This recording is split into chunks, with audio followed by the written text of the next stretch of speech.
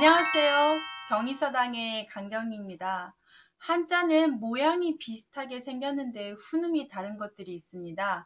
모양이 비슷한 한자를 한번 모아봤습니다. 오늘은 모양이 비슷한 한자 21번째 시간인데요. 첫 번째부터 한번 보시겠습니다.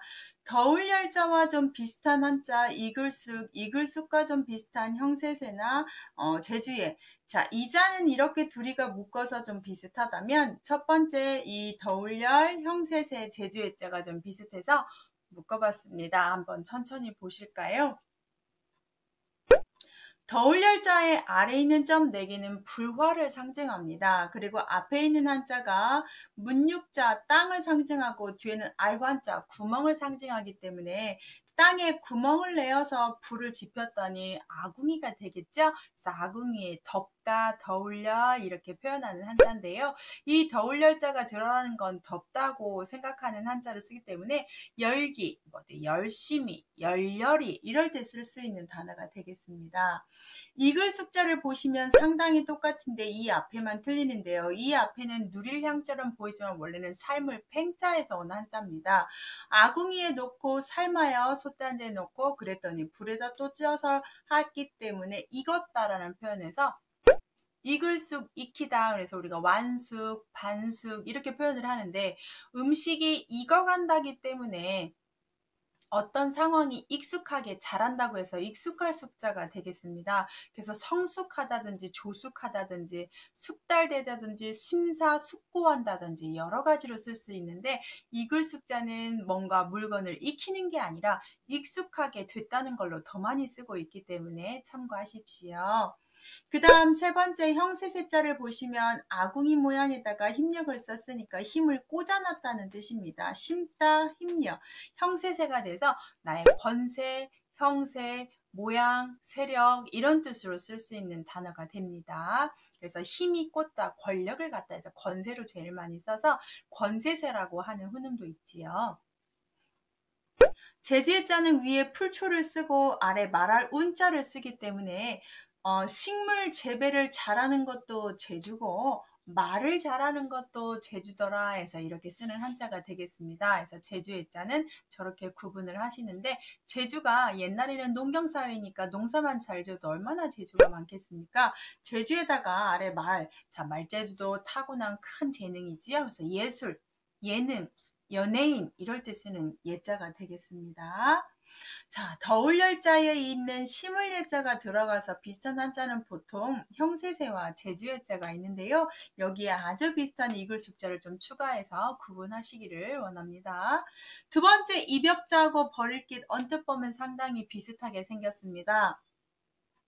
먼저 입엽자는 나무에 있는 잎사귀 모양에서 세상새하고는 관계없이 잎사귀를 그린 한자가 되겠고 위에 있는 한자는 풀초 식물을 상징하게 돼서 엽서, 낙엽 할 때 쓰게 되는데요.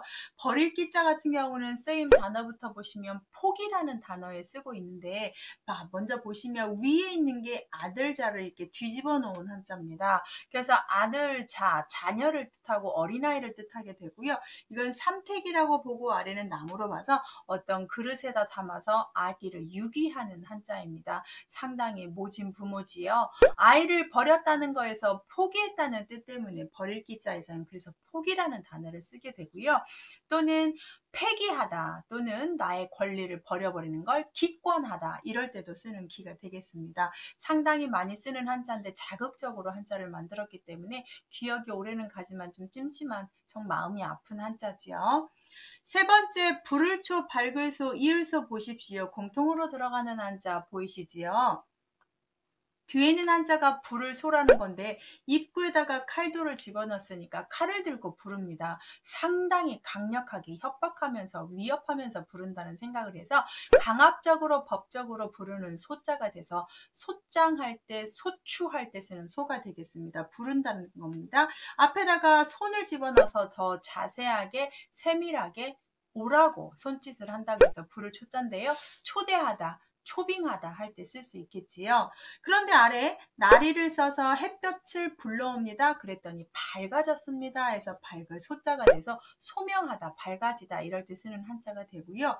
이을 소자 같은 경우는 실사입니다. 실사가 뜻을 줘서 실로 연결시키다 라고 해서 실을 서로 불러오다, 실과 실을 서로 묶다.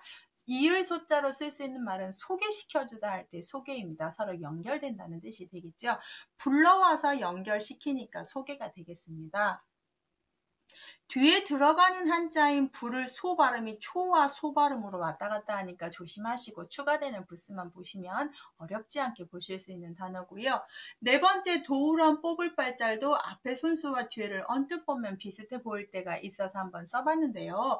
도우런자 같은 경우는 손수에다 뒤에 다 손, 손, 손, 손입니다. 그래서 도와주는 손들이어서 응원, 구원 이럴 때 쓰는 원자가 되겠고요. 뽑을 발자는 뒤에 는 한자가 개 달아날 발, 개 뽑을 발자가 되겠습니다. 개견자에다 하나를 써서 발자인데요. 발음 역할을 하고 앞에 손수인데 특히 뭐 뜻까지 도와준다고 하면 아주 좀 모난, 별로 좋지 않은 또는 반대로 엄청 빨리 잘 달릴 것 같은 개를 내가 뽑았다. 이렇게 해서 선발하다 할 때 쓰는 발자가 되겠지요. 뽑다라는 말에서 우리가 근본적인 걸 뽑아서 잘 막아야 된다 해서 발본, 세권 이런 말 쓸 때도 뽑을 발, 선발, 뭐 기발하다 이럴 때도 쓸 수 있는 단어가 되겠습니다. 비슷하죠?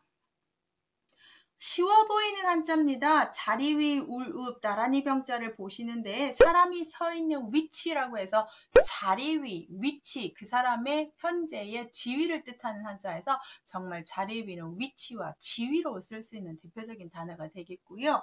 우릅자는 서서 울고 있다 해서 우리가 읍소하다, 읍고하다, 울면서 뭔가 보고할 때 많이 쓰는 단어입니다. 그리고 나란히 병자를 보시면 양쪽에다가 설립 두 개를 써서 나란히 서 있다는 표현을 쓰고 있는데요. 여기에 쓰진 않았지만 앞에다가 손수변을 쓰고 가면 끌고 갈 납자가 됩니다. 납치하다 이자도 한번 보셨으면 좋겠습니다. 그래서 설립자가 들어가서 약간 좀 비슷비슷하다 이런 걸 보시면 자리위, 울읍, 나란히 병 모양이 비슷한 한자 묶어서 보면 편합니다. 다음 편에도 이렇게 또 영상을 만들어 드릴게요. 맨 뒷부분 영상 1분 정도 집중해서 보셔서 여러분 암기하셨으면 더 좋겠고요. 이런 영상 받아보고 싶다면 구독 버튼 눌러주시면 됩니다. 저랑 한자 공부 같이 해요. 감사합니다.